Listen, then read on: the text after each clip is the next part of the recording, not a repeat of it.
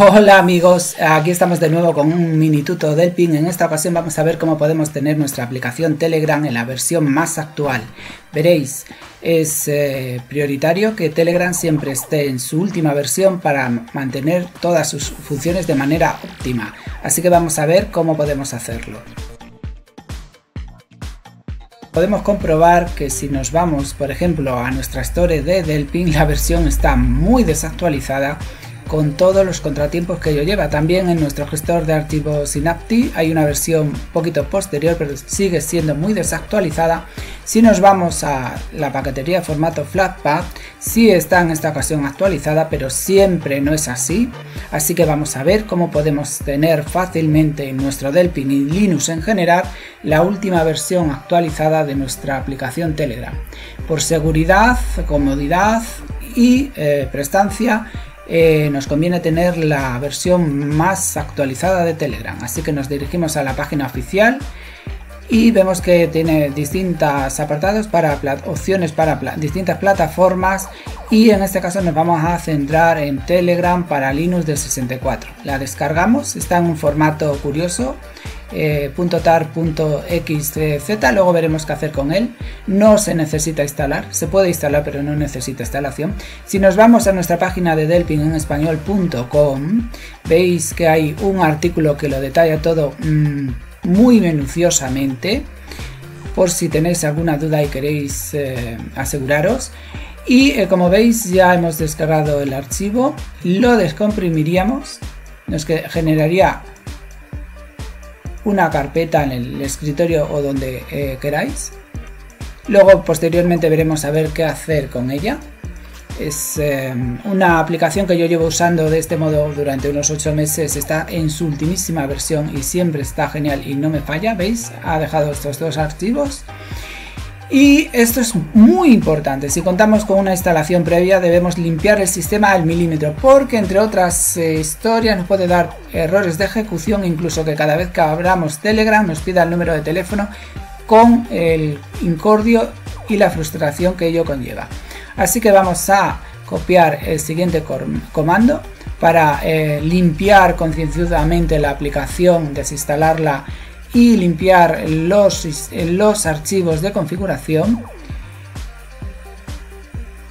Como veis, si os acordáis del anterior vídeo, nos aparecen dos librerías que están huérfanas y que el propio sistema nos está indicando cómo solventar con el siguiente comando que os eh, subrayo.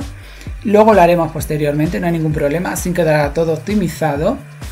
Y lo principal es que vamos primero a proceder a desinstalar la versión previa que teníamos de Telegram que está muy, muy desactualizada. ¿Veis? Estaba en la versión 1.1.23, muy antigua, con las carencias de rendimiento y prestaciones que ello conlleva, así que la vamos a retirar minuciosamente. Ahora ejecutaríamos el comando que nos eh, recomendaba eh, la terminal. ¿Veis lo que os decía? La versión que acabo de descargar es la 1.8.8 de la propia web de Telegram y la versión que teníamos eh, instalada de la Store es la 1.123, súper antigua, genera muchos problemas en nuestra aplicación, así que Telegram es una aplicación que debe estar siempre muy actualizada. Y vamos a proceder como os decía a liberar esas dos eh, librerías que nos aparece aquí con el comando auto remover que el propio sistema nos está indicando que deberíamos de eliminar para optimizar. Recordar que es una librería posiblemente que están huérfanas así que dejaríamos que haga su magia la terminal. Ya terminó ya está todo optimizado y ahora vamos a proceder para ver cómo podemos asegurarnos de manera manual que no queda ningún tipo de carpeta o archivo de configuración. En teoría no debería de quedar, pero como hay veces que los instalamos varias veces, suele quedar algo perdido por el sistema y vamos a hacer, como os dice en la recomendación, una cuidadosa limpieza manual de los archivos de configuración. Normalmente con el comando este que os hemos usado, eh, como os comentaba, eh, serviría, pero si hemos tenido varias eh, versiones de Telegram, posiblemente haya varias carpetas de configuración, archivos de configuración que tenemos que eliminar. Como veis, aquí os dejo las rutas. Vamos primero, podemos renombrarlos o eliminarlos. En este caso es preferible eliminarlos. Nos vamos a la siguiente ruta también, es importante. Os la dejo detalladas en la eh, nota del escritorio en el vídeo.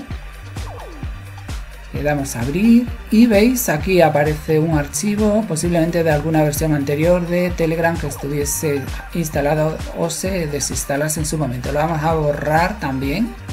No nos sirve, así que para qué renombrarla. Y una vez descomprimido el paquete en nuestro escritorio podemos hacer, eh, tenemos dos opciones eh, para proceder. Primero, la más sensata, la que mejor funciona es la opción de copiar la carpeta a nuestra home. Eh, dado que ahí no hay tantos problemas de permisos, recordar que Telegram es una aplicación que carga, descarga muchos archivos, con lo cual si no queremos problemas de permisos, la vamos a poner un punto, la renombramos para que quede oculta nuestra carpeta personal y así no se borre por accidente.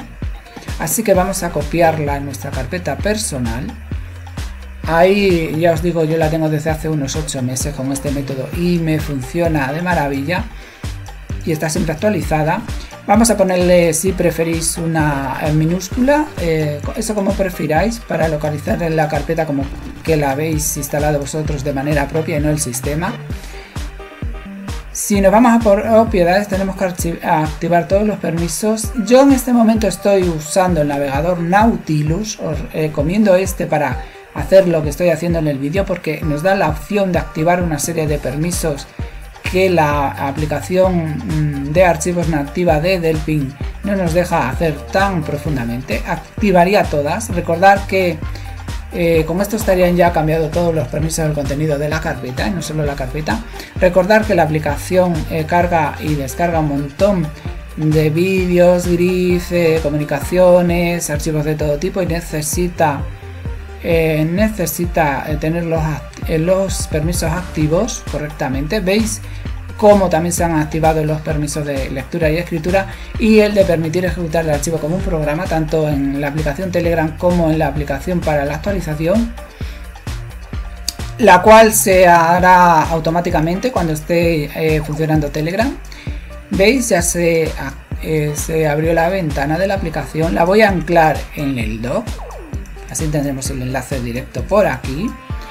La vamos a poner en español le damos a empezar a chatear y aquí introduciríamos nuestro número de teléfono para eh, activar la, cuenta y, los diversos ajustes.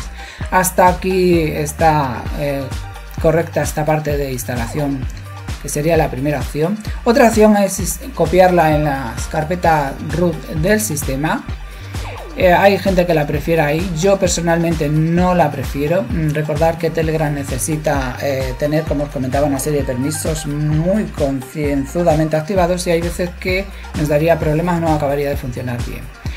Bueno, pero para el que la quiera saber que la ruta está en, la carpeta O, la abrimos como administrador en una nueva ventana. En este caso estoy usando el navegador de archivos eh, característico nativo de Delphi que trae por defecto. Entonces deberíamos copiar la carpeta aquí. Recibo, eh, os comento, es eh, otra de las posibles opciones para eh, instalar la aplicación. Si la habéis hecho de la manera anterior ya no es necesario que sigáis este segundo paso. Y una vez que tengamos la carpeta generada en nuestro escritorio procederíamos a simplemente copiarla en este directorio. La dejaríamos ahí. De cualquiera de las dos maneras ya tendríamos eh, el icono en el menú de inicio de nuestro Delphi.